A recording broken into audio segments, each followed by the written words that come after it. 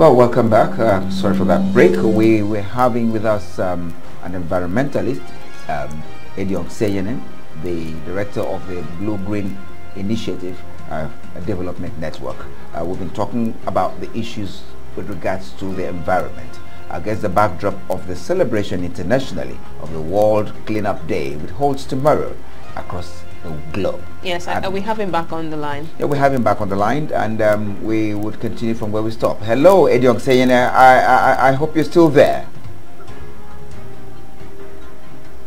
Yes, I'm here. Yeah, okay, thank you very much for back. your patience. Uh, it's glad to know you're there. Yes, we were talking about the issue of environment and domesticating it to our own climate. You talked about the mindset of the people. Uh, the Niger Delta is a place that is mostly having a larger share of its landmass uh, taken over by water. In Delta State where we are, there's water. Most of the areas, the local governments are water prone. Now, could you tell us, how does this play when it comes to cleaning the environment, when we say right, World so Cleanup Day? Before we went on that break, I was I, I was giving an example Yes, tied to this. Yeah. I indicted our ladies, you know, the way they go about with um, what they call um, free uh, um, clothing. You know, they just go to the market and pack those clothing, even shoes, and sometimes bags. Yes. That they end up not having use of. They end up burning them, and some they trash them, even in the gutters. So that was the first lifestyle I had mentioned. The second lifestyle has to do with um, steel consumption but now, how can we deal with a you know uh, single-use plastics? So you on the you on the you on the go, and you are thirsty. You grab a bottle of water or a sachet of water, and then just after going it, the next point of trashing is or trashing it is in the gutter or just throwing it by the road, or even um, uh, you know soda and other kinds of things. Even sachet of snacks even our packaging nylons. So it's a lifestyle, our consumption lifestyle. Now, when you trash, when you trash these things like this, where do you think they will end up? Most of them, if you don't block our waterways, find their way into the ocean. And when they get into the ocean, they get, um, you know, ingested by fish, and in the process of bioaccumulation, we still end up eating that fish, taking in microplastics into our system. Two, the ones that end up in the water, they block the, the gutters, which are supposed to be channels where, you know, um, uh, uh, water, a runoff, water uh, runoff, you know, gets into the proper channels and all of that. When these channels are blocked, we will cry foul that uh, you know flood has taken over our houses, flood has taken over our farmlands, and all of that. But we forget that somewhere in Akwa Ibom, you are eating or a snack and, and trash the, the, the, nylon into the gutter. You have drunk water and throw and put the container or nylon into you know the, the gutter. And somewhere in Delta State, your cousin your brother, your sister had done something similar. And the cumulative effect of this is that the waterways will be blocked. And with the signal NIMET is giving, with the early warning signals NIMET is giving, you find out that we are also contributing to, to us becoming victims. You understand? Yes. Very well. We must make a conscious effort. The agencies of government in our region must make conscious effort, you know, that they deliver on their mandate and their responsibilities. Yeah, what should be the kind of uh, responsibilities they should take in this particular kind of scenario? Uh, you talked about the lifestyle of the people. No, uh, no. They have their life to live, but the no, government also has its role to play. True because most of their responsibility. Hello, sir. Yes, we, we can, can, hear, hear you. you. Go ahead, we Are can hear you. Yeah. Hello, can you hear us? Am I audible enough, please? Yeah, go ahead, we can yes, hear go you. on. Yes, sure, I can hear you. Yeah, we talked so about the role of government. What role do you think government could play? I like sharing. Yeah. I call it the Own Your Gutter campaign, the Own Your Gutter campaign where everybody every shop owner, if you own a shop by the road and there's a gutter, the front of your shop, that gutter is your own. So you, if all of us make that conscious, if you own a house and the house is by the roadside, there's a gutter, the, the gutter in front of your house is your own. Even the one opposite your house where there is no structure is your own gutter. Now, how would that help? If everyone make conscious effort that they keep their gutters clean all of the time, there will not even be need for uh, environmental sanitation that uh, they lock people down at home and not people to have free movement. Because already what is suspended to be done in one day had already been done in little little quantities yes. every day.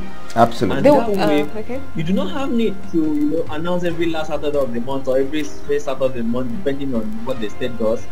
Uh, as environmental sanitation, and you keep people at home, and these people that you are keeping at home are not even doing anything. They don't come out. Their immediate surroundings clean. There were efforts by so the government. Okay. This, yeah, go ahead. If okay. people adopt this method by adopting the gutters in front of their house to be their home, you find that there will be less of flood issues. Except where it is overwhelming, like when the dam is overflooded or something. And even when the dams are overflooded, you still find that if the gutters are clean, at least there will be some leeway for these waters to be properly rechanneled and all of that. So the blockade should be, you know, people should take make conscious about to say that they, they, they do not just, you know, treat our, our water channels with liberty. Okay, so um, talking about um, government having environmental sanitation days, that's one of the efforts by the government to make sure that the environment is clean. And I've also noticed that uh, some time ago you uh, board a public vehicle and you see them having baskets yeah. in either the, uh, in vehicles, the vehicles, or tricycles. Yes. yes. you see them and they, they expect you to throw trash into um, into this basket in their vehicles. But we notice that a lot of persons don't even steal.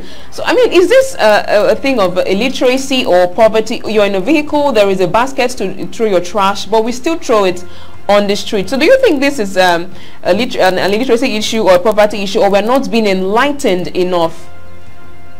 In addition to that what kind of legislation or enforcement uh, can be made to ensure that this issue being talked about can be nipped in the bud Okay, uh, first, I, I think, think all of these state government, they have policies with regards to environmental regulation. But the major problem happens to be enforcement. Let me give a clear example in the South South and of course the Niger Delta are. In Cross River State, when the uh, uh, state, he took the issue of environmental sanitation, in fact, the took clean serene and green environment very seriously. I think he took it personal. About that time in Cross River, in Calabar, to be precise, make I use pidgin talk. The no born you where make the day inside motor chop chewing gum, throw away the sachet outside. The no born you will make you chop banana for motor throw away the banana peel outside. I mean banana peel that is biodegradable.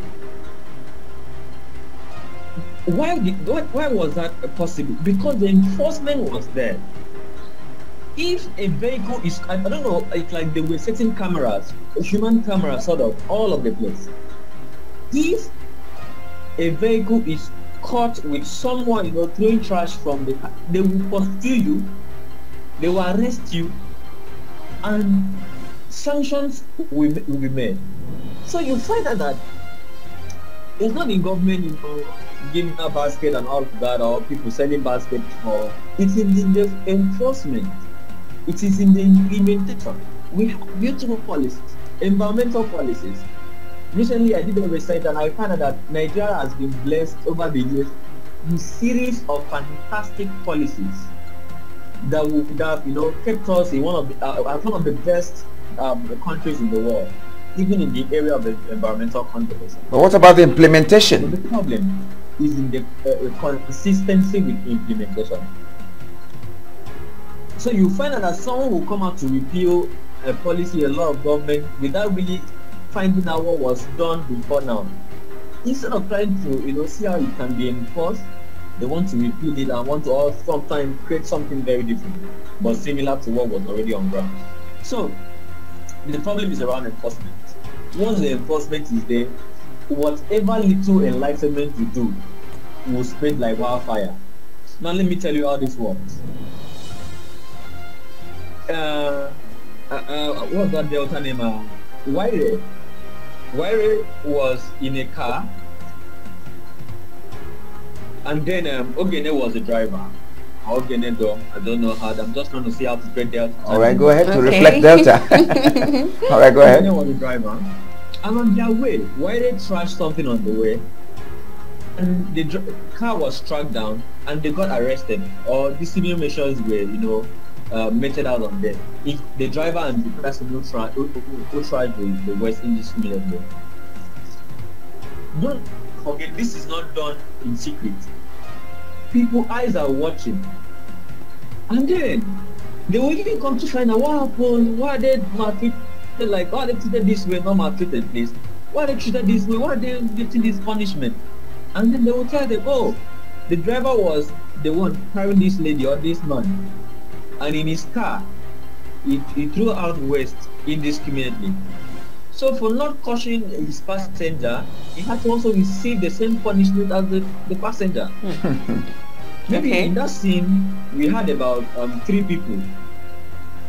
That is already public enlightenment because those three people will go and tell another person. Yes. And then that's six people already. The six will spread the. So people now become conscious hey, if you're in a car, if you are in fact if you are trekking on the road, please don't trash us anyhow.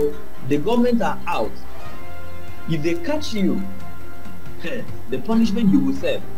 You understand? So that way, then you now use the conventional media like what people are doing with the TV, what um, you know some media media house, and then even you know and in, this age of social media, and with the very little campaign, you find out that the, the ripple effect will be felt across board and you find that we live in a clean, serene, and green environment. And the issue of, you know, celebrating world cleanup and, and would be an everyday thing.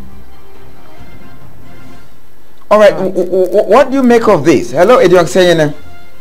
Um, we know that um, some yes, um, officials of government use this for revenue making uh, in some states, I'm aware that they sell the baskets and you have to renew the baskets every year. I'm talking about the sanitation baskets. And you have a task force that arrests you when you don't have a new basket. You know, the State Environmental Sanitation Authority. You keep buying baskets every year. The line is breaking, please. Oh dear, I, I, I, can you hear me now? Hello, can you hear me now? Go ahead. Okay. All right. Uh, talking about enforcement. Yes, yeah, talking about enforcement in some of the southeastern states, uh, we've come across um, little baskets at the back seat of the driver, and these baskets are usually renewed every year. You have to buy a new basket every year. The one for 2022, 2023, 2024, and they arrest you for not having a basket. Uh, do you think those kind of measures help to improve the cleanliness of any city?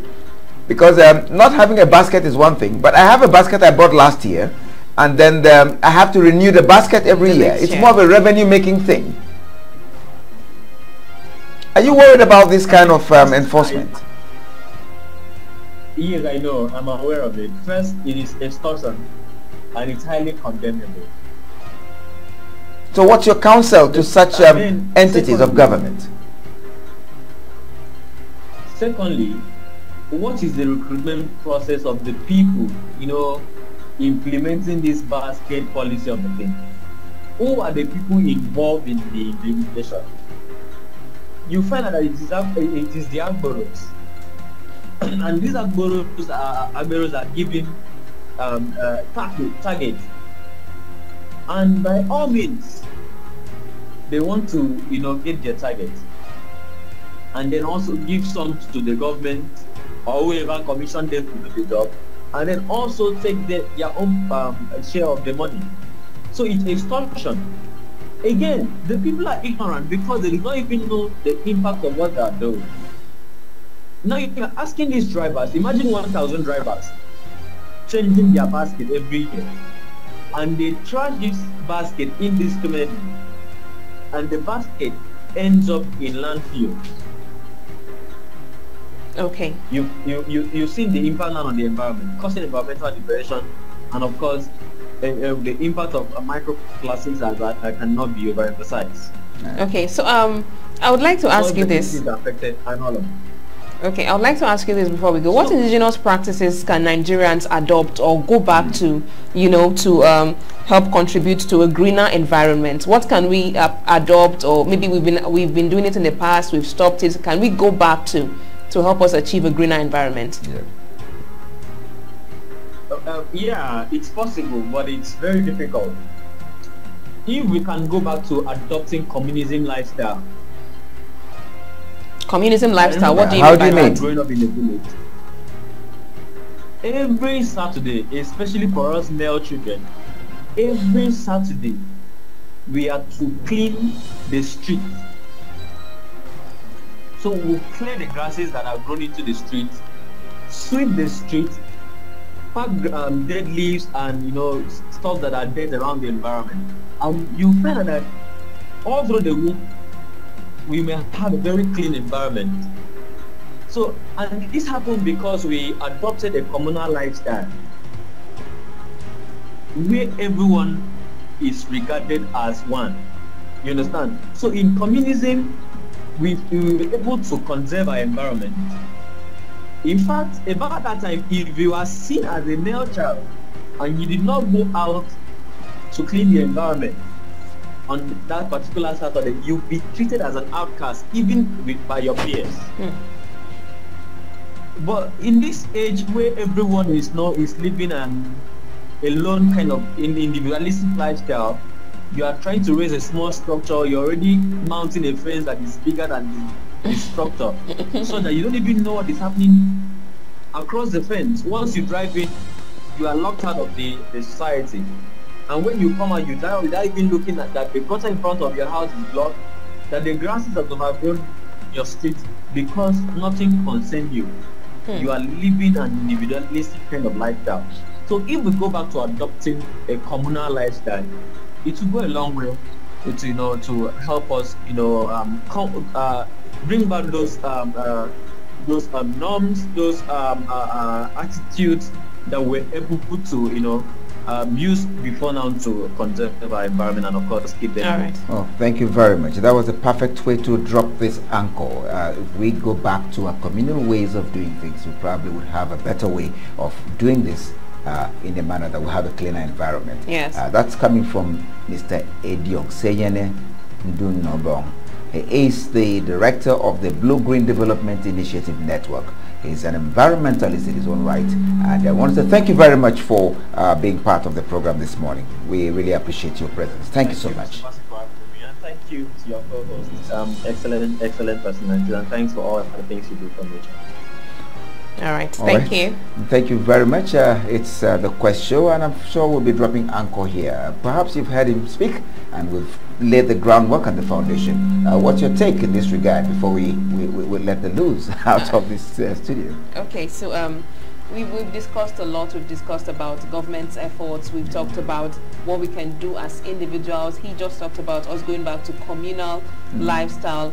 Uh, and I think that we have to consciously adopt these methods if we are sure. And first of all, we have to agree that we do require to be in the greener economy. You know, he just talked about how we throw uh, plastic into the mm. ocean and then the fishes eat this plastic, consume it, and then we end up consuming it, it ourselves. becomes counterproductive. Yes. And some actions, our actions and inactions are really telling us. Yes, yeah. they come back to telling us. And if we, if we can, um, you know, if we are aware of these things, I, I think people are not aware. If we can be really aware of these things, and uh, I, I, think we'll be more conscious about our lifestyles. All right, and to my mind, I would want to call on everyone out there. The environment is your friend, and make the environment to be your own friend as it's also friendly. Be environmental friendly. Let's keep a clean environment and a green environment.